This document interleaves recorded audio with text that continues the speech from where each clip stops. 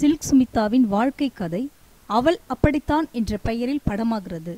ஆயிரத்தி தொள்ளாயிரத்தி எண்பது தொண்ணூறுகளில் தென்னிந்திய திரையுலகில் முன்னணி கவர்ச்சி நடிகையாக வலம் வந்தவர் சில்க் சுமிதா.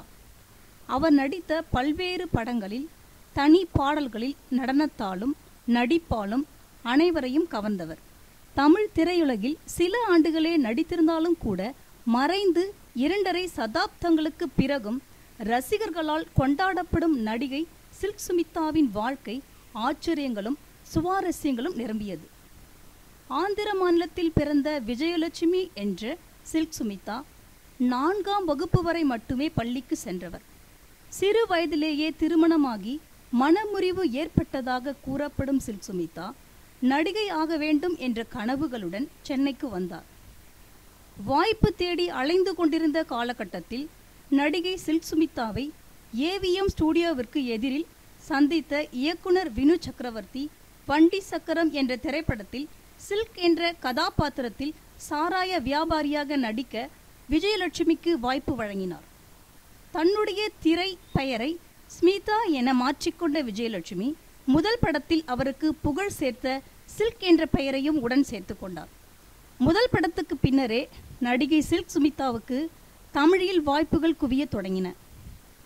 கிறங்க வைக்கும் கண்களும் சொக்கி இழுக்கும் வனப்பும் திராவிட நிறமும் சில்க் சுமிதாவை புகழின் உச்சிக்கு அழைத்துச் சென்றன.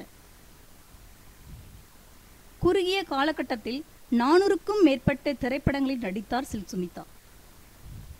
புகழின் உச்சியில் இருந்த சில்க் சுமிதா மரணமடைந்த பின்னர் ராயப்பேட்டையில் உள்ள அரசு மருத்துவமனையில் யாரும் பெற்றுக்கொள்ள ஆளில்லாத அனாதை பிணமாக வைக்கப்பட்டிருந்தார். தகவல் கிடைத்த பின்னரே அவரது உறவினர்களும் பெற்றோரும் வந்து சில்க் சுமிதாவின் உடலை பெற்றுக்கொண்டனர் எனினும் சில்க் சுமிதா தற்கொலை செய்து கொள்ளவில்லை என்றும் சில்க் சுமிதா கொலை செய்யப்பட்டார் என்றும் அவரது உறவினர்கள் தரப்பில் கூறப்பட்டது. பல்வேறு திருப்பங்கள் நிறைந்த அவருடைய வாழ்க்கையை அவள் அப்படித்தான் என்ற பெயரில் படமாக்குகிறார்கள். காயத்ரி பிலிம்ஸ் சித்ரா லட்சுமணனும் முரளி சினி ஆர்ட்ஸ் எச். முரளியும் இணைந்து தயாரிக்கும் இந்த படத்தை பல்வேறு விளம்பர படங்களை இயக்கிய மணிகண்டன் படமாக்குகிறார். ஏற்கனவே சில்க் சுமிதா வாழ்க்கை த டட்ரி பிக்சர் என்ற பெயரில் படமாகி வெளியானது. இதில் சில்க் சுமிதா வேடத்தில் வித்யா பாலன் நடித்திருந்தார். மேலும் அவள் அப்படித்தான் என்ற பெயரில் சில்க் சுமிதா வாழ்க்கையை படமாக்கி வருகிறார்கள்.